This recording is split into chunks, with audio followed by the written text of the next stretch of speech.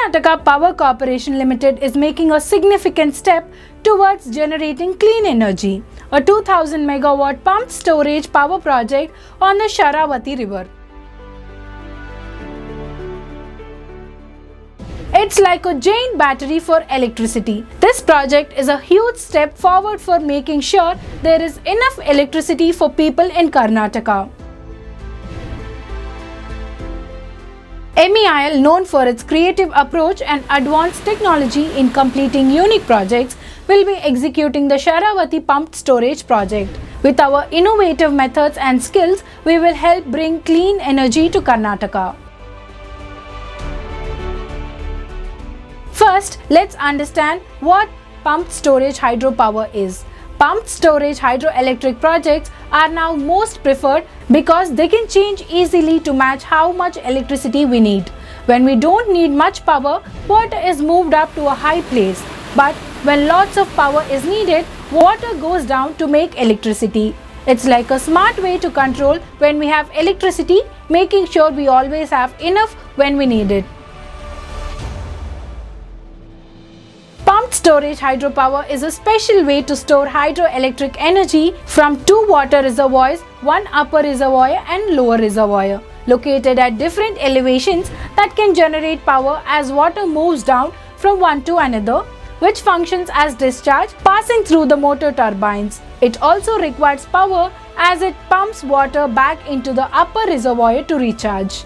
This setup is like having a giant water battery that helps us have electricity whenever it is needed.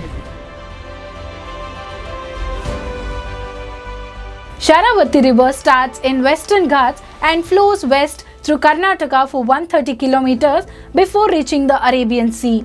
The Western Ghats are vital, feeding many rivers and sustaining peninsular Indian states.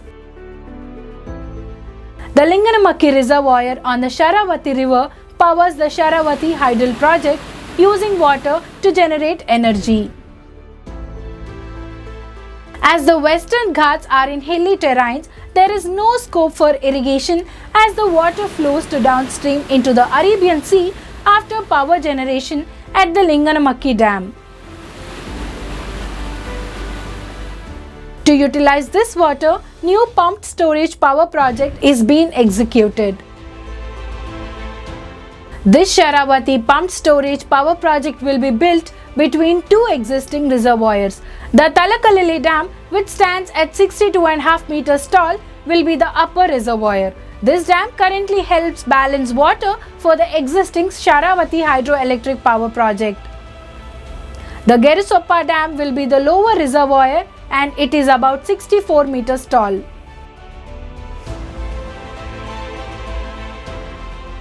The Linganamakki Dam across the river is really important for managing the water in the Sharavati river.